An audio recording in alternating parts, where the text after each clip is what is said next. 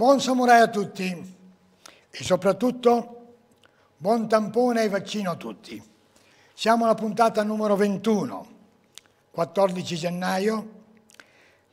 Si ricorda in questa data, 21 gen 14 gennaio del 1761, la, la terza battaglia di Ariana in India, dove parteciparono i famosi cavalieri Kshatriya, ai quali si dice nacque la prima forma di arti marziali indiane che Bodhidharma portò da, da, dal sud dell'India, poi in Cina e in Giappone.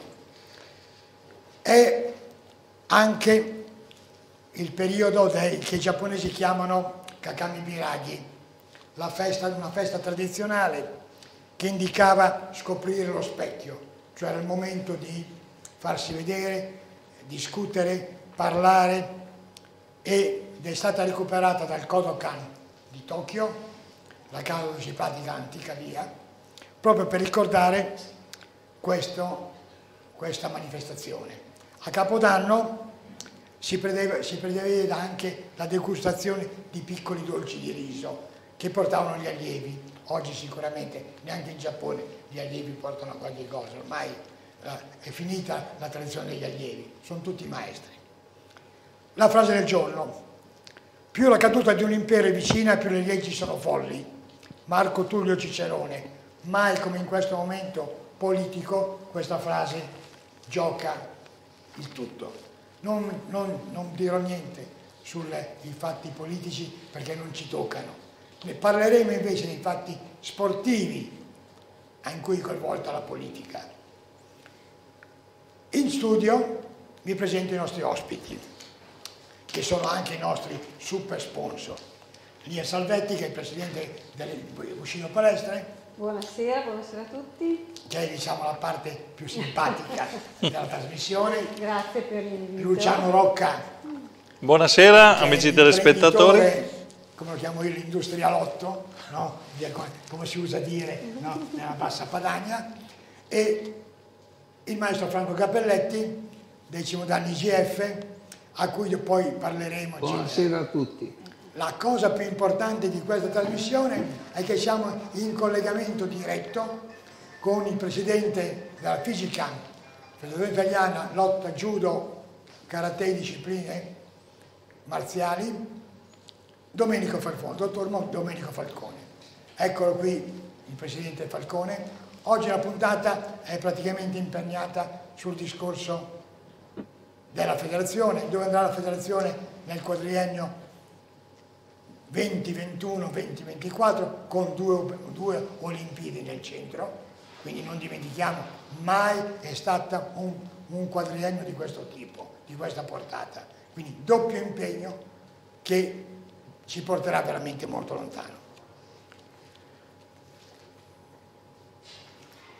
In studio il sottoscritto Spartocan, pronto per il vaccino per i diversamente giovani, prima che si pensi a una moria degli oltre 70 anni. Io son già, mi sono già quasi prenotato, faccio, ne faccio due, uno per, per, subito e uno fra un po', eh, in modo che sono tranquillo che i miei delatori possano contare sulla mia, vita, la mia lunga vita. Parliamo di Covid un attimo, che io ho sintetizzato la parola Covid in coraggio, ottimismo, visione, integrazione e determinazione. Cioè, diciamo che tutte queste voci potrebbero finire in una sola. Il controllo della popolazione, punto di domanda, chissà, chissà se è vero.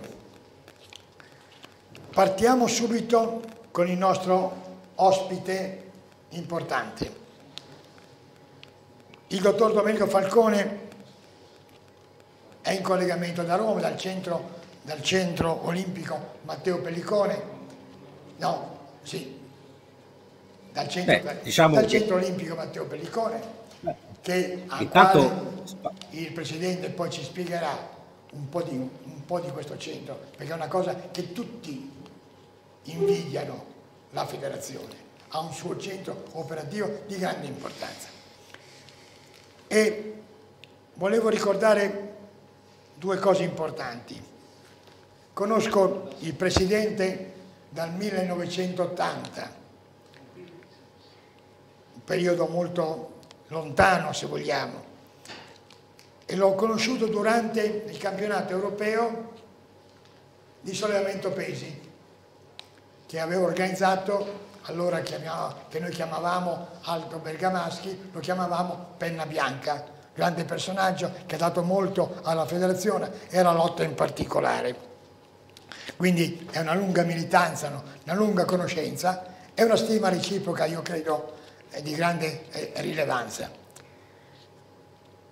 Direi che diamo Aldo Bergamaschi, lo, lo voglio ricordare anche perché da partigiano ha salvato con i suoi colleghi compagni d'arme il quadro del il quarto potere di Milano del famoso pittore Giuseppe Pellizza da Valtello. Quindi un uomo che ha, ha dedicato molto alla storia eh, milanese, lombarda e eh, alla federazione. Caro Presidente, è, è, sei pronto? Sì, allora, intanto volevo mentre, mentre, mentre mandano avanti qualche video, qualche foto del Presidente, allora, la prima domanda o hai qualche cosa da, da anticipare alle domande?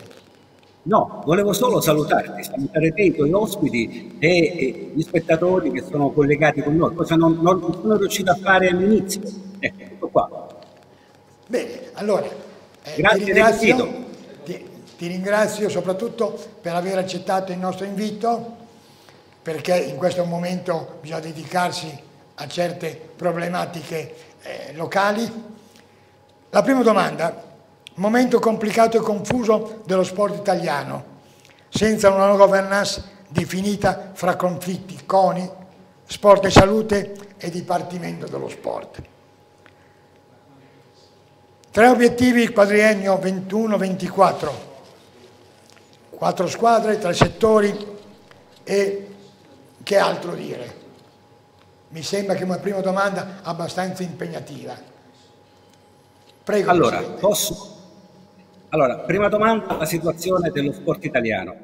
È una situazione estremamente imbarazzante. Credo che sia a conoscenza ormai di tutti noi sportivi la situazione in cui versa lo sport italiano. Ne stanno parlando a lungo i, i, tutti gli organi di informazione e eh, la, questa legge di riforma che il ministro Spadafora eh, pensava di poter portare in approvazione del Consiglio dei Ministri non è stata approvata, è stata eh, eh, eh rigettata, si sono trasformati di, questo testo di riforma in sei mini decreti, cinque sono stati avviati, sono stati approvati dal Consiglio dei Ministri e stanno seguendo un leader parlamentare, delle commissioni parlamentari, mentre forse il decreto non credo che sia il più importante, ma è quello che avrebbe consentito il la messa a terra delle competenze degli enti interessati alla gestione dello sport, quindi il CONI, Sport e Salute e il Dipartimento. Purtroppo eh, tutto questo non è accaduto e allora sì, la situazione si è ancora più aggravata perché, come noi tutti, voi tutti sapete, il CIO sta aspettando dal governo italiano delle assicurazioni sull'autonomia del CONI rispetto al governo, come stabilito dalla Carta Olimpica.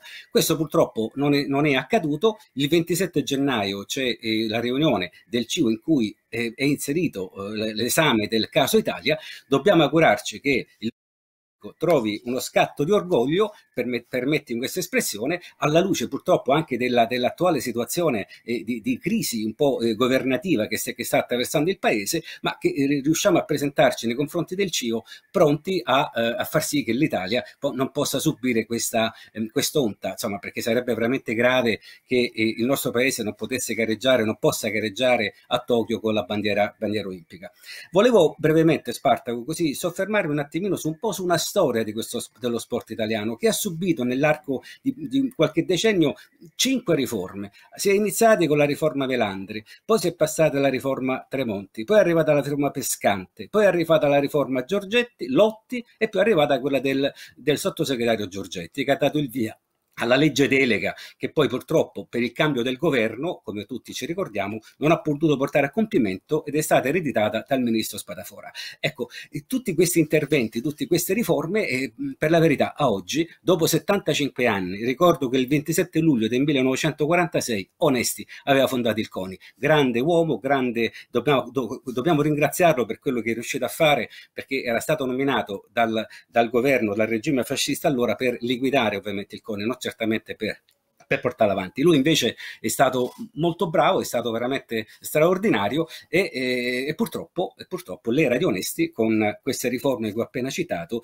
è stato eh, completamente azzerato. Ri, ripartiremo in un'altra, speriamo di ripartire quanto prima, di avere chiarezza eh, eh, sul, sul destino del nostro sport che ci sta un po' penalizzando. Ecco, questo è una, una cosa eh, sotto gli occhi di tutti e quindi, eh, come dire, auguriamoci che eh, eh insomma, a, nei prossimi giorni abbiamo delle notizie estremamente, estremamente positive. Ma diciamo che eh, c'è il, il, decreto per il CONI, c'è il sì di Conte, ma come, come, tu giustamente hai sottolineato, in questa situazione il sì di Conte conterà, conterà fino al 27 Pensare un'Italia senza inno e bandiera è quasi impensabile. Noi ci preoccupiamo che la Russia si presenterà per i problemi di doping senza inno e bandiera, è già, è già per se stesso una cosa veramente eh, poco no, lusinghiera che... per lo sport in generale.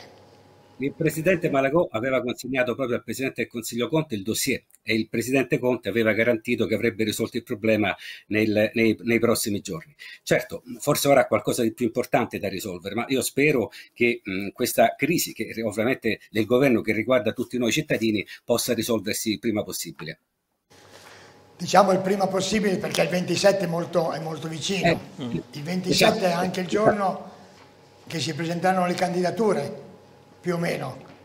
Una volta il 27 il si pagava lo stipendio, no, quindi è un po' una giornata un po' particolare il 27. Vediamo beh, cosa beh, succederà 28, in quella data. Il 28 gennaio, ecco, um, dimmi tu se posso andare avanti o... Io direi, certo, certo, hai, hai, la voce in capitolo oggi, è la tua trasmissione. Noi siamo qui, eh. diciamo, per ascoltare. Prego, Presidente. No mi parli del 28-27 gennaio, io dico 28 gennaio, così parliamo un po' della nostra assemblea federale che è stata indetta il 27 febbraio, il 28 gennaio eh, scadono i termini per la presentazione delle candidature, quindi mh, è, è, quasi certo, non c'è la, la eh, eh candidatura ufficiale anche di, di, un altro candidato alla carica di presidente. Questo conferma, permettimi di dirlo, come il nostro statuto non è uno statuto non democratico, perché co- ha consentito lo scorso quadriennio la candidatura di 29 consiglieri per 12 posti e il, questo, in questo um, e a gennaio, a fine gennaio, per questa prossima assemblea ci saranno sicuramente i due presidenti più eh, i consiglieri che scopriremo il giorno 28 quali, quali essi siano. Quindi eh, è un momento secondo me importante importante. Io sono eh, lieto di, di, una nuova candidatura perché ci permetterà di confrontarci su programmi, spero anche e soprattutto sulle differenze dei programmi e quindi eh, eh, eh avviare un dibattito sereno da qui alla prossima assemblea per cercare di arricchire tutto sommato quello che è il nostro mondo. Io non sono, non, la cosa sono, la, la guardo veramente con, in, in termini estremamente positivi. Diciamo che in questi sono passati 41 anni dalla prima elezione del presidente Matteo Pellicone 1980 grazie ai 14 famosi voti del maestro Cappelletti qui presente. E si è sempre detto che eh, non c'erano altri candidati alla presidenza, quindi una federazione poco democratica, uno statuto poco democratico. Io invece ho sempre detto il contrario, che tutti potevano presentarsi ma no, la gente non si presentava se la gente non si Beh, presenta esatto. chiaramente non ci sono eh, eh, alternative. Volevo, quindi, volevo... quindi, hai, detto ah. bene Presidente, lo statuto è democratico, più democrazia di così, chi vuole candidarsi si candidi, l'importante è avere quelle che si chiamano le famose deleghe. le proposte è... di candidatura. E, e, e come dire, appunto in 40 anni di storia, perché mi pare Matteo Pellicone sia stato eletto nel 1981, e, e, e forse non c'era stato bisogno prima. Il presidente Pellicone è stato per lunghi decenni alla guida della federazione e credo che qualcosa di buono abbia fatto. E quindi se non ci sono state delle, delle candidature perché forse non erano ancora maturi i tempi, perché la gente, i tesserati erano soddisfatti dell'operato del presidente. E poi tutto cambia, tutto, ci stiamo avviando a una fase nuova. È arrivata la legge sui mandati che ha completamente ha stravolto il discorso, ecco, ricordiamocelo, la, la, e questo riguarda la legge Lotti che aveva trovato un punto di equilibrio quando il governo aveva pensato di mettere un tetto al limite dei mandati. Erano tre mandati, lo voglio ricordare perché questo è utile sapere eh, alla luce anche di quello che è accaduto con, con, la, con questa ultima legge di riforma poi abortita, eh, eh, quindi chi ha più di tre mandati si può candidare per l'ultima volta, questo consente la legge, la norma transitoria del, del, eh, eh, della legge Lotti e questo mh, ovviamente apre ora nuovi scenari, quindi non ci potranno più essere mh, eh, presidenti che siano in carica per più di 12 anni, questo è un bene o male, non lo so, io l'ho accettata come un po' tutto il Consiglio nazionale, certo siamo rimasti inorriditi da quello che il testo di riforma era stato presentato nel Consiglio dei Ministri in cui si parlava addirittura di due, ma di tre mandati, ma massimo due consecutivi, cioè una forma veramente assurda di, eh, e, e, e, ora capisco, capiamo il motivo per cui poi la, la legge di riforma, il, il, decreto numero uno sia stato poi bocciato, perché non aveva senso. Quindi questa ostilità nei confronti del, del, del mondo politico, nei confronti del mondo dello sport, è inaccettabile, perché tra l'altro i presidenti federali, voglio ribadirlo, siamo eletti, lavoriamo quattro anni e poi andiamo in assemblea a essere sottoposti a valutazione, come è giusto che sia, come la democrazia eh, eh, eh impone. E dopodiché eh, si continua il lavoro, oppure se hai fatto male te ne vai a casa, insomma, è, è una cosa naturale. Quindi tutto cambia, quindi benvenga questa apertura e questa nuova candidatura che ci permetterà ecco, di, eh, come, come dire, di fare assemblee un po' più frizzanti. Bene, quindi vuol dire, vuol dire che questo è il tuo, terzo mandato e quindi nel, nel 24 No, si, si, vedrà sì. cosa succede. No, non mettiamo no, comunque perché... limiti alla provvidenza, perché magari arriva un nuovo governo, una nuova riforma dello sport, tanto per fare qualcosa di diverso e si cambierà ancora tutto. Bene, vediamo io, io, al secondo anche... argomento come la fisica ha fatto fronte alle problematiche e alle difficoltà provocate dalla pandemia e come intende farvi fronte nelle prossime settimane. Allora, Questo è un eh, discorso veramente... molto, perché forse pochi sanno cosa è stato fatto dalla federazione a tal senso. Ora, lo, Prego, Presidente. Lo, lo, lo ribadisco, ecco, tutto nasce nel mondo federale il 23 febbraio, se vi ricordate, il lockdown federale una gara di judo a proprio a Vittorio Veneto, il sabato si, la, si, svolge la competizione, il 23 la domenica, non, non, so se ricordo correttamente le date, viene, invece viene sospesa perché iniziano le norme, le restrizioni del, dei, decreti, dei, decreti, governativi. E da allora la situazione purtroppo eh, non, non, è certamente migliorata. Ci sono state eh, così delle, eh, delle in, aperture che sono state fatte durante il corso dell'anno, soprattutto in estate, mese di maggio, giugno, quindi settembre, si sperava di poter riattivare l'attività l'attività agonistica, purtroppo la situazione non mh, mm, ci ha consentito di fare ben poco. Cosa ha fatto la federazione? Poi, poi torno parlando un po' del, di ciò che riguarda le, eh, il calendario del 2021, perché ci sono alcune precisazioni, precisazioni, alcune mh, cose che mi sono, mh, ho ragionato proprio in questi giorni e, e, fra poco le voglio enunciare. Allora, per quanto concerne l'aiuto che mi ha dato dalle società, noi a giugno il Consiglio federale ha eh, varato un bonus 1 che riguarda un, l'aiuto, l'affiliazione gratuita alle società sportive e, e, e gratuitamente anche il tesseramento degli atleti, i, i cosiddetti preagonisti. nel il bonus 2 a dicembre, 18 dicembre, nuovo Consiglio federale, eh, ovviamente tutte queste somme sono le somme che la federazione non ha speso per l'attività sportiva e che abbiamo eh, restituito alle società sotto, sotto, forma di un fondo nell'economato delle società stesse che si ritrovano. Non solo ora il, eh, un, un, importo basato sul numero degli atleti preagonisti, ma ora anche gli atleti, tutti gli atleti, in maniera tale che abbiamo un pacchetto completo in cui la società sportiva eh, può affiliarsi gratuitamente nel 2021 insieme ai tecnici che fanno parte della società sportiva e ovviamente con tutti, con tutti gli atleti. Il valore economico di questa operazione è di oltre 2 milioni di euro, quasi 2 milioni e 200, 200 mila euro, dentro i quali sono rivi compresi anche un'assicurazione legale per i presidenti delle società sportive, in, in, assicurazione legale qualora ci fossero problemi di natura eh, ovviamente del Covid-19 e in più abbiamo realizzato una campagna promozionale Difendiamo il futuro perché proprio speravamo nel mese di settembre la riapertura delle palestre, quindi il, l'allontanamento del virus, forse siamo stati un po' troppo ottimisti, che ha funzionato forse per qualche mesetto per poi essere ovviamente sospeso. Ovviamente questa campagna, tutti questi video promozionali che noi abbiamo eh, eh, realizzato e, e, sono stati e sono eh, facilmente scaricabili da tutte le società sportive, saranno, mi auguro, riattivati quanto prima, eh, eh, quando ovviamente questa, questo maledetto virus potrà, all- si allontana dal nostro paese e forse mi, mi auguro anche tutti gli altri paesi. Ecco Spartaco, c'è Visto una che nuova, abbiamo parlato di video, eh, c'è, c'è, stato mandato dalla, dal tuo ufficio stampa un video promozionale sulla federazione che desiderei sì. far vedere. Ecco. Certo. I miei genitori non volevano che lo praticassi, pensavano fosse pericoloso.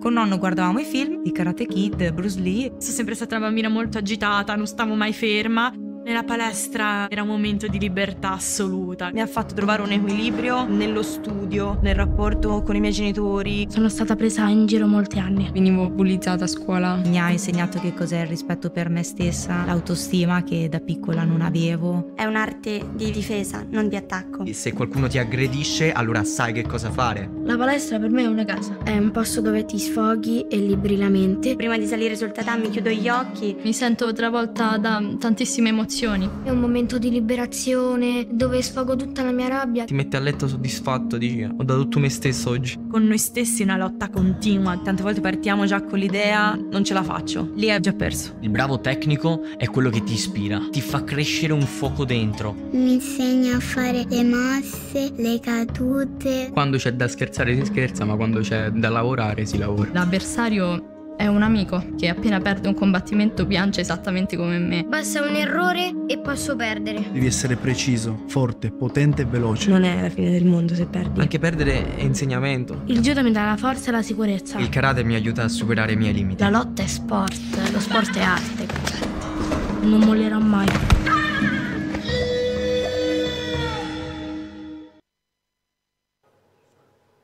Eccoci di nuovo in studio, quindi abbiamo il terzo argomento, il, il famoso centro olimpico dedicato a Matteo Pellicone.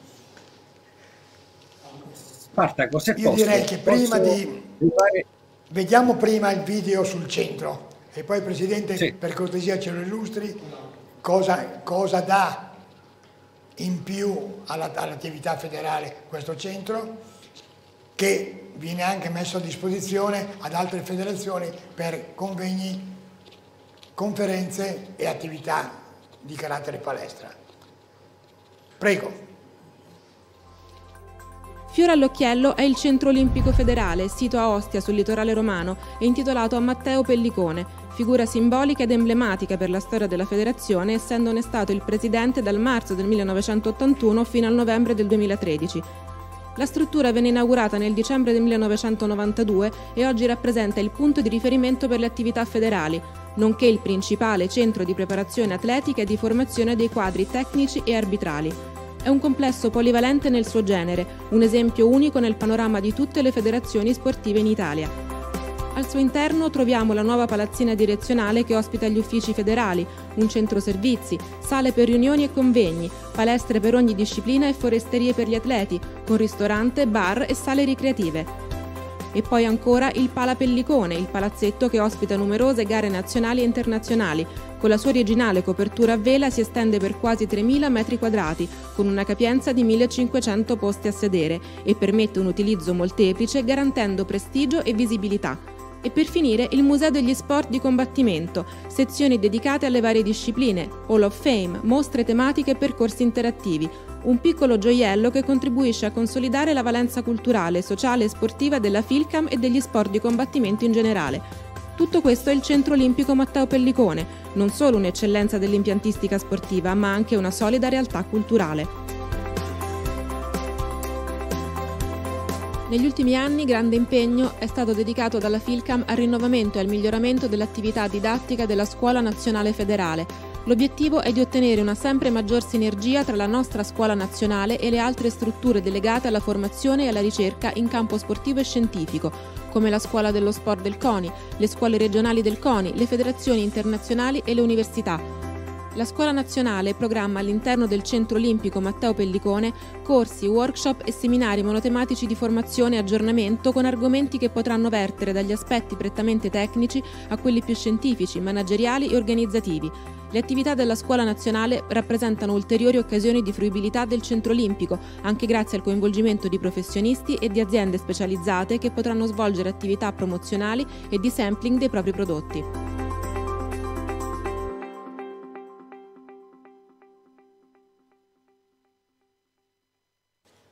Bene Presidente, bellissimo documentario sul centro Matteo Pellicone. Cosa vuoi aggiungere a quello che abbiamo visto? Eh, Spartaco, io quando vedo queste immagini non ti nascondo che mi sento sempre un po' emozionato perché dietro tutto quel centro olimpico c'è stato un grande lavoro che proprio Matteo ha iniziato, Matteo Pellicone ha iniziato fin dagli anni 90, anzi prima degli anni 90 per, per solo una, come io ci dicevamo spesso, solo una, così, un folle non poteva pensare negli anni Ottanta di poter costruire, centro olimpico, centro, costruire un centro olimpico. Non ci è riuscito. Io ho, dato, ho fatto anche la mia parte e quindi c'è stato c'è grande impegno, grande, grande sacrificio, grande sudore dietro, dietro quelle mura, dietro tutto questo impianto che è veramente bello e, e, ed è, è stata eh, eh, è stato il momento in cui la federazione ha avuto una svolta, ovviamente, sia dal punto di vista organizzativo, sia dal punto di vista dei risultati sportivi, che sono ovviamente cresciuti, avendo a disposizione la possibilità di poter senza problemi svolgere allenamenti delle, delle nostre squadre nazionali. Sono momenti belli, momenti che eh, mi piace condividere anche con voi, eh, soprattutto legato al ricordo, al ricordo del nostro amato, amato Presidente. Ma noi non ci siamo fermati, il Centro Olimpico ha bisogno sempre di manutenzione, di interventi, è un impianto ricordo il palazzetto 1990, il centro olimpico 1992 e proprio grazie a chi vedo qui il presidente Malagò e anche qui il presidente Winzer, grandi amici della federazione che eh, ehm, abbiamo cercato di ottenere eh, ci siamo riusciti dei finanziamenti eh, di natura pubblica per poter eh, completare dei lavori di aggiornamento della manutenzione del nostro, del nostro palazzetto. I lavori inizieranno nel mese di giugno-luglio e mh, centro olimpico, squadre nazionali, centro olimpico è stato chiuso, no? come voi sapete, per, per, un lungo periodo. Abbiamo riaperto, nel, eh, se non sbaglio, nel mese di luglio, le squadre lentamente hanno iniziato a riallenarsi e, e mh, problemi legati all'attività sportiva internazionale tutta soggetta dei nuovi protocolli eh, anti-Covid, la, la, cosiddetta bolla. Eh, dopo qualche esperienza negativa siamo riusciti, eh, sia atleti e tecnici, a trovare il punto di equilibrio affinché la delegazione italiana partisse dal centro olimpico di Ostia, arrivasse a destinazione senza problemi, si fanno i tamponi, cioè e, e, volevo così sottolineare e, e, il nuovo impegno che hanno la nostra delegazione, atleti e tecnici. Che e tecnici debbono stare, quando arrivano in collegiale, arrivano con un tampone, vengono sottoposti a un altro tampone molecolare, stanno in camera nelle stanze del centro olimpico, il giorno dopo, se il tampone è negativo, gli atleti iniziano ad allenarsi, stanno in bolla, quindi non, hanno, eh, non vengono a contatto con altre persone in maniera tale per garantire ovviamente che l'impenetrabilità del, del virus. Dopodiché si parte per andare all'estero, si arriva in, uh, alla, in, nella sede de, della competizione, altro tampone, altro soggiorno in camera, poi se, se tutto negativo tu poi sei ammesso a circolare sempre nell'ambito del, del, degli spazi sportivi. Cioè, questo per dirvi la fatica e l'impegno in più anche mentale, soprattutto anche per gli atleti.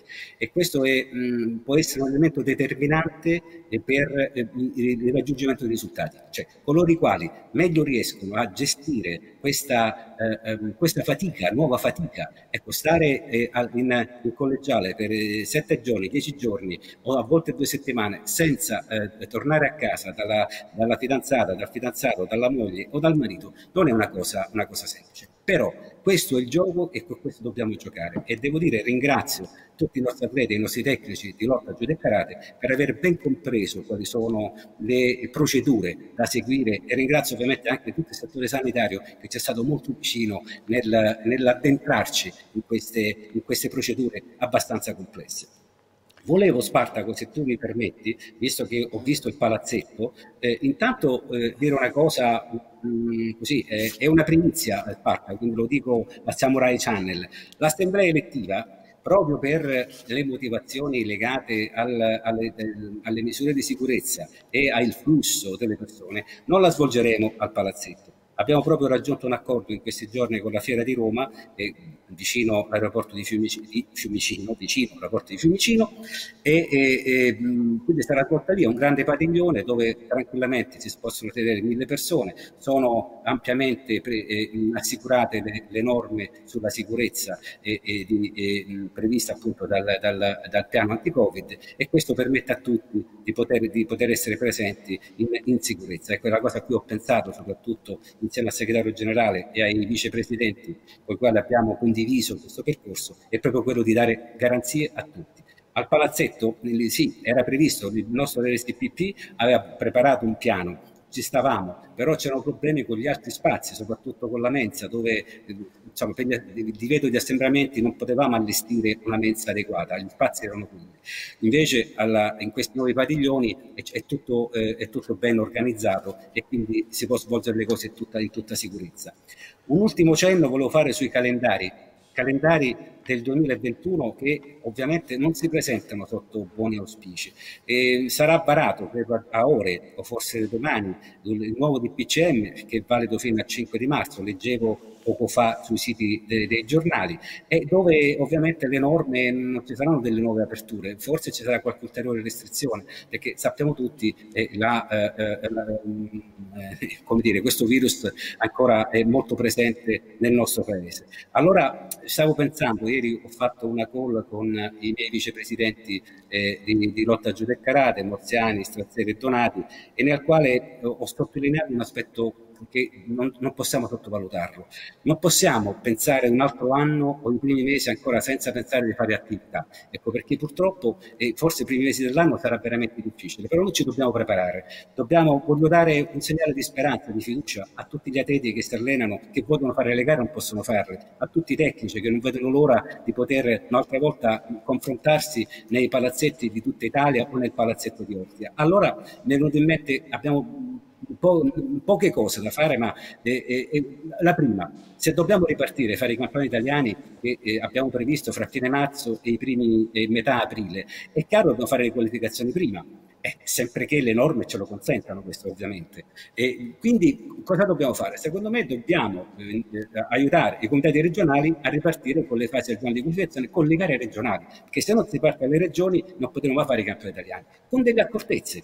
Allora, cosa mi è venuto in mente? Noi dobbiamo preparare, vorrei eh, eh, aiutare i comitati regionali istruendo, formando dei referenti regionali del, di Covid che ovviamente possono aiutare il comitato regionale nell'organizzazione dell'evento nel rispetto delle norme che la federazione si è data, sulla base ovviamente dei principi e eh, eh, delle autorità, autorità governative.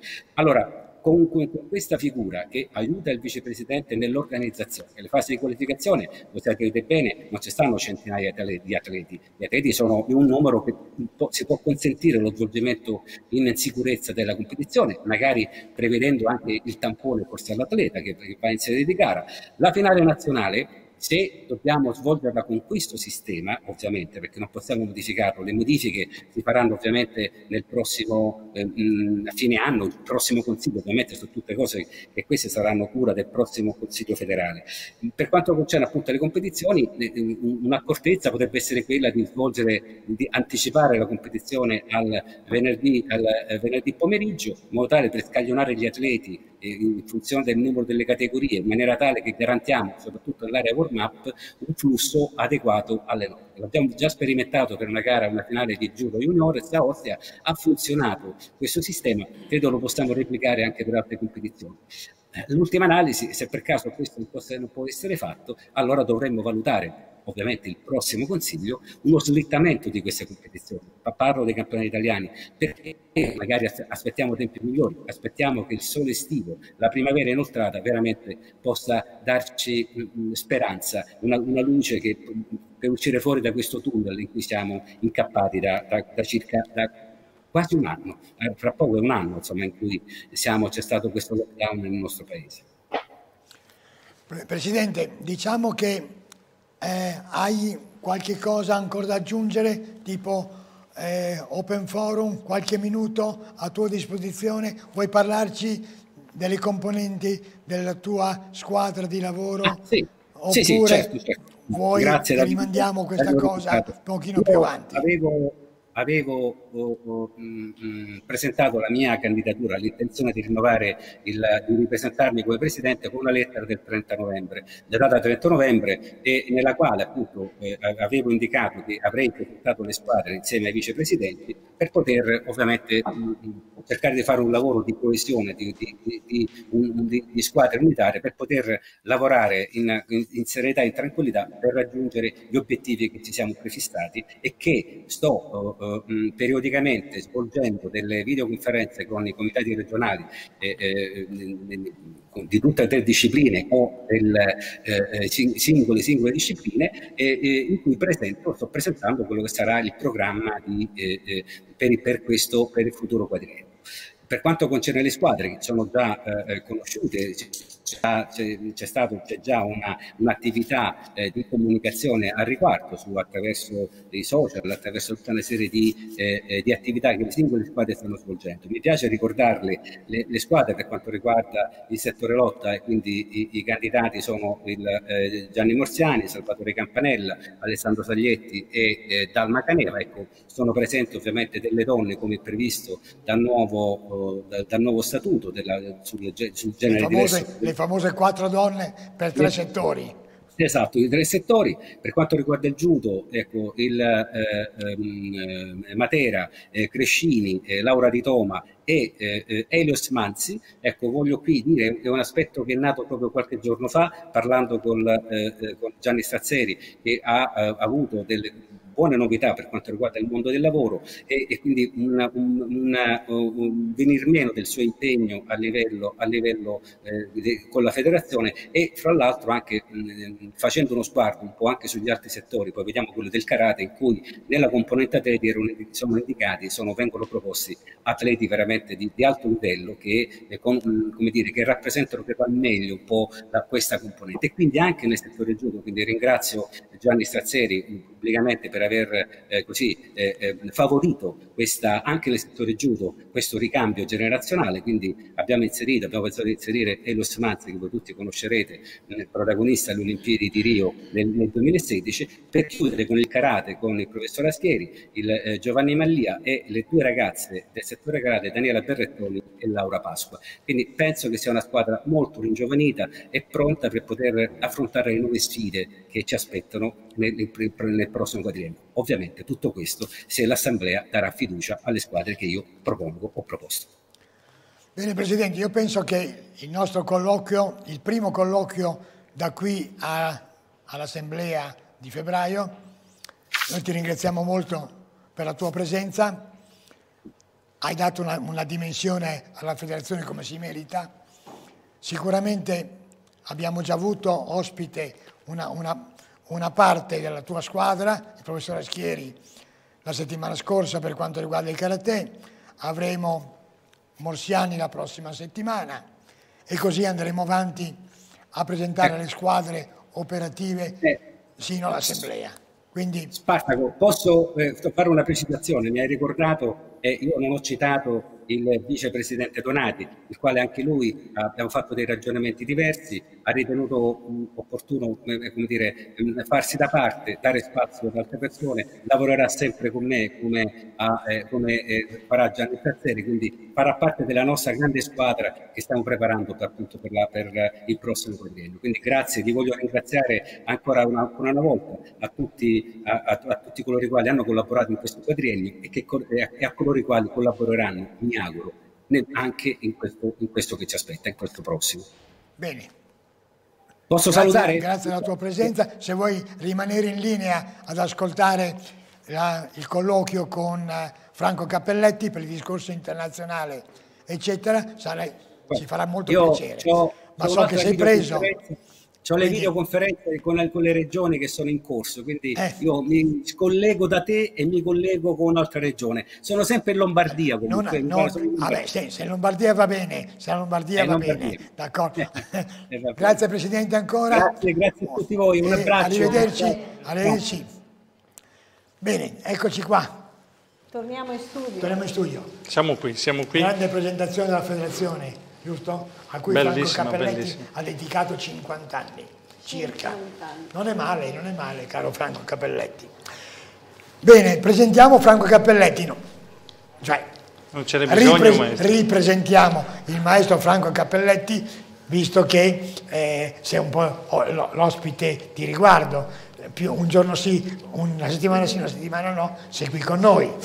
Bene, decimo dan, abbiamo detto, il massimo che si può raggiungere, due decimi dan nel mondo, John Kerr per la Scozia e Franco Cappelletti per la parte italiana, quindi più di così non si poteva raggiungere. Ma soprattutto Franco Cappelletti ha anche un altro titolo importante, di chairman per la commissione Judo Kata dell'International Judo Federation. So, solo il presidente Mario Sviser, che qui vediamo nella foto, durante la visita al Kodokan, dove nella nuova sala è stato, è stato messo proprio il manifesto anche di Franco Cappelletti tra le famose Hall of Fame, cioè la, la stanza dei famosi, ha lo stesso titolo, quindi è qualcosa di più a livello internazionale Franco Cappelletti. E nella commissione, la sua commissione Judo Kata, faccio parte anch'io, nel mio piccolo, no? cerco di dare una mano, una manina no? al, al, più grad graduato maestro Capelletti. Vediamo, Luciano, vuoi... No, anzi no, no, è giusto. Via, fai la prima domanda al maestro Cappelletti. Certo. Volevo chiederle, maestro, che la strada cremonese del judo l'ha portata a raggiungere il massimo livello, quindi il decimo dan e anche, l'ha appena detto il nostro maestro, che è anche chairman, oltre al presidente Wieser per la commissione Judo Kata, volevo sapere cosa è stato fatto in questo periodo per la pandemia Covid. Eh, per la pandemia Covid eh, il problema importante è come si poteva eh, far funzionare questa cosa, perché voi sapete che il judo è un, è uno sport da di contatto, contatto, e quindi di conseguenza non si poteva eh, praticare. praticare. Si è cercato di trovare delle forme di poter, eh, dire, di poter mantenere questa attitudine allo sport evitando il contatto. Non è stato molto facile, però quello che ci stiamo preparando è il dopo pandemia, che sarà molto importante, perché dopo pandemia non saremo più quelli di prima. Sicuramente. La società sarà cambiata. Quindi noi la cosa importante che dovranno, la qualità importante che dovranno avere gli insegnanti di judo sarà la capacità di motivare la gente a fare judo. Quindi eh, l'allievo non, non potrà più essere considerato come prima il maestro che è il maestro di vita, il maestro da cui l'allievo si deve eh, come dire, eh, riferire per vivere bene, per imparare a vivere. No, l'allievo diventa una, una parte importante perché l'insieme degli allievi formano il club. E loro sono la vita del club, sono quelli che danno la vita al club. E bisognerà cominciare a pensare che il judo non è solo agonismo, ma è, come diceva Gigoro Kano, non si è mai finito di imparare. Quindi bisogna trovare le motivazioni di continuare a studiare judo anche dopo che si è finito l'agonismo, perché l'agonismo ha un inizio ben preciso e una fine ben precisa. Certo finisce quando l'età non permette più di fare quegli sforzi che potevano fare da giovani. Però bisogna lì non bisogna abbandonare il judo, ma lì è il momento più importante per migliorare. Scusa maestro Franco Appelletti se ti, vi fermo un attimo. Eh, per quanto riguarda il, concetto del, del judo kata, la commissione, hai detto bene, abbiamo, abbiamo, lavorato in questo periodo per far sì che tutti i vari i cinque continenti portassero avanti la loro attività. Sì. Addirittura abbiamo già lavorato, e dico bene, eh, maestro Capelletti, per i, prossimi mondiali che dovremmo fare in Polonia, dovevamo farli lo scorso anno, quindi ci stiamo avvicinando a, a, ai, ai traguardi, ma purtroppo abbiamo questo Covid di, di mezzo. C'è questo così, ostacolo. Lì, ecco, eh, non possiamo. Eh, Luciano Rocca, che sì. domanda vuoi fare al maestro Capelletti? Ma io volevo chiedere appunto al maestro, ringraziandolo per queste chicche di saggezza che ci dà, bisogna riflettere su quello che il maestro dice. Progetti dell'International Judo Federation, maestro, eh, per il prossimo futuro? Beh, eh, come ho spiegato, come ho detto prima, bisognerà cambiare un po' la forma dell'insegnamento, cioè motivare gli allievi e da questo noi stiamo studiando un, una forma di nuovo insegnamento dove l'allievo diventa anche lui protagonista, cioè non si può, in poche parole, non si può insegnare a tutti nello stesso modo. Quindi cambiamo da insegnanti a educatori, maestro? Può essere... Sì, però soprattutto, come ha detto Cigoro Cano, GKQA, insieme per migliorare. Quindi eh, dovrà essere visto tutto sotto questa nuova forma, migliorare insieme. Quindi sia l'allievo che il maestro devono continuare a migliorare che poi l'insegnamento che il nostro maestro DSB ci dà. Eh, Beh, diciamo che io ho rubato un po' di insegnamenti dal maestro Cappelletti nel suo, dal suo libro, Sognando piedi nudi, una vita dedicata al judo.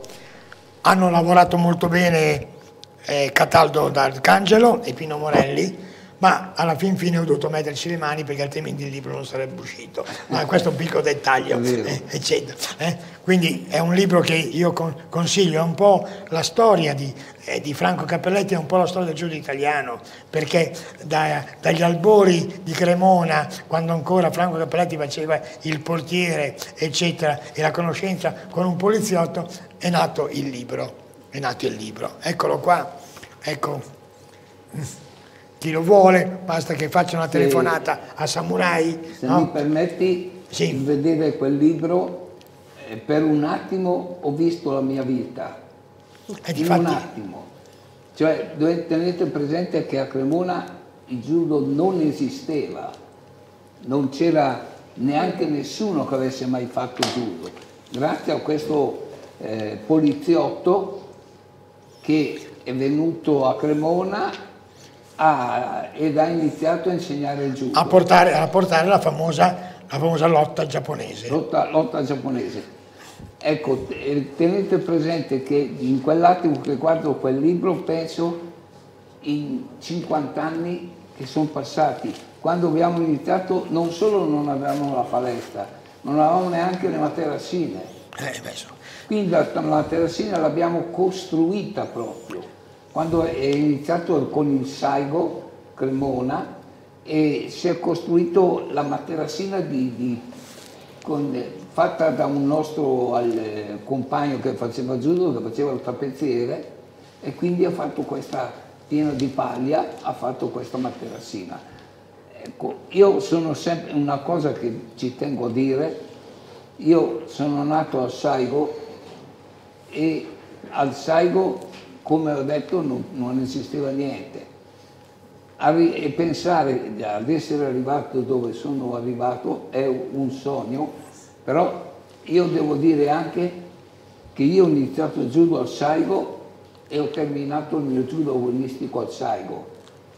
Quindi non, sono sempre rimasto fedele a questa palestra di amatori che avevano iniziato a fare judo. Bene. Quindi ringrazio Bene. nel vedere quella copertina Bene. mi fa un po' sognare. Eh beh, eh, a piedi nudi però. Eh, a piedi nudi, ma i sogni, ma tu hai realizzato i sogni, questo è importante, perché i sogni, è, i sogni, sono importanti se si realizzano, altrimenti sono proprio sogni e basta. Eh, prima di, di, abbiamo, il tempo non è galantuomo come al solito, volevo parlare un attimo di Samurai, che è già in edicola, come, siamo al 45 anno, ogni, ogni, ogni volta è un miracolo, perché non dimentichiamo che, che, il discorso delle palestre sono chiuse, l'attività agonistica è chiusa e noi riusciamo ad andare ancora in edicola, è già un miracolo. Abbiamo anche due inserti al, al suo interno, uno sul Kung Fu di Alessandro Colonese e della kickboxing di Biagio Vitrano dalla Sicilia e un inserto dedicato alla kickboxing e soprattutto su Octagon eccetera coordinato da Carlo Di Biasi, Carlo Di Blasi che è diciamo, il famoso Carletto degli anni eh, 80 che eh, fa un'attività veramente incredibile. Quindi mi, non, non, mi resta che ringraziare Caronte, il nostro Caronte che, che, mi martella in trasmissione, voi non lo vedete ma è, veramente birichino, Daniele Scala. A lui mi ricorda un po' la canzone di Bruno, Bruno di, di Martino, ha due occhi, due naso, due labbra come me. Sì, ma lui, lui, ha la pancetta da Buddha, ecco l'unica differenza, ed è il martellatore della trasmissione. Eh, quindi, quindi, ecco. Se mi permetti però vorrei dire sì. che non è un ungere questo, eh? no, no, no, è quello che veramente sento, sì. sì. quello che veramente sento. Samurai, non io, cioè io e tutti quelli che hanno, hanno fatto judo, dobbiamo ringraziarlo perché Samurai ha proprio portato alla, al grande pubblico, al grande pubblico il, prima ancora della televisione che ci desse certo. importanza, ci ha fatto conoscere e noi dobbiamo solo ringraziare Samurai. A proposito di, di conoscenza, eh, vedete, vedete che sta girando il numero di telefono, dalla prossima volta potete collegarvi direttamente con noi per fare le domande, quindi stiamo anche noi ogni volta perfezionando. È tempo di, di dire buon samurai a tutti, di sera leoni, di giorno tamponi e vaccini, alcuni permettendo. Per poter vincere bisogna iniziare e noi ci proviamo ogni volta. Grazie ancora, la prossima settimana avremo una trasmissione dedicata al judo, non al judo, alla lotta, lotta non la lotta continua, la lotta sportiva con il, il presidente di settore che ci collegheremo e nonché una nuova trasmissione dedicata a questo momento particolare che è verso l'Assemblea del 28 di febbraio. Grazie, buona serata a tutti e arrivederci presto. Buona, buona serata a tutti. A presto, a presto.